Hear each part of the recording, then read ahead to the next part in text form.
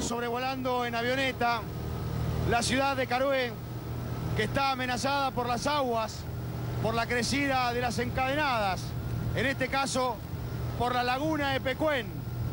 Todo ese camino de tierra que ustedes están viendo, que está bordeando prácticamente toda la ciudad, es el terraplén que está a un metro sobre el nivel del lago de Pecuén. Por ese motivo, se está pidiendo que se cierren las compuertas del rolito para evitar que ese terraplén se desborda. Finalmente, se abrieron las compuertas del rolito. ¿Esto qué significa? Que Carué tiende a quedar bajo las aguas. Aunque parezca increíble, lo que todos presumían, sobre todo los ingenieros de hidráulica, que la laguna del monte iba a bajar a su nivel natural, esto no está ocurriendo, se mantiene en su nivel estable.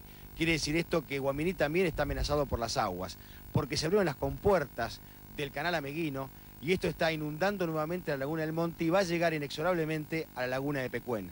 El destino de Carué finalmente será el mismo que el de la ciudad de Pecuén, quedar bajo las aguas. Y allí tienen ustedes una vista aérea de la ciudad de Pecuén.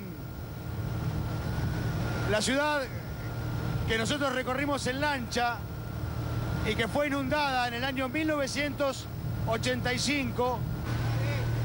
Aquel, aquel coso naranja que se ve allí es un tanque de agua donde estaba todo el complejo de piletas este, del lago de Pecuén.